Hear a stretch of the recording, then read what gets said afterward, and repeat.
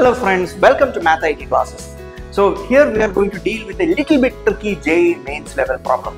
Okay? There is an inclined plane like this. This angle is theta and the inclined plane is faced.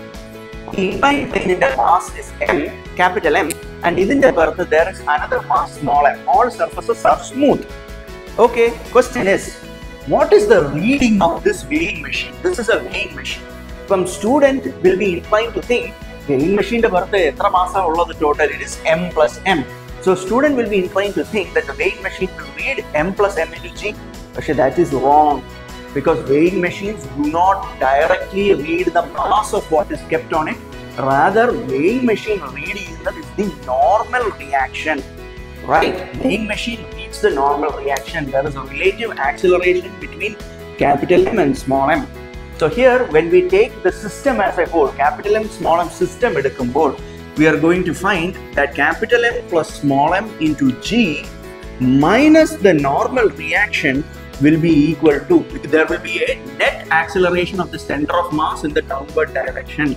It will be m plus m into a center of mass. This is our first equation.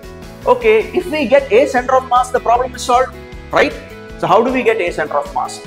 Well the particle is moving downwards.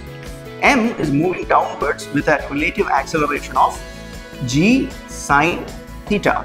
What is its acceleration in the y direction what is its acceleration in the y direction it is g sine square theta right? G sine square theta. So a center of mass is going to be equal to small m into g sine squared theta plus capital M into 0 divided by m plus m. This is the formula of acceleration of center of mass.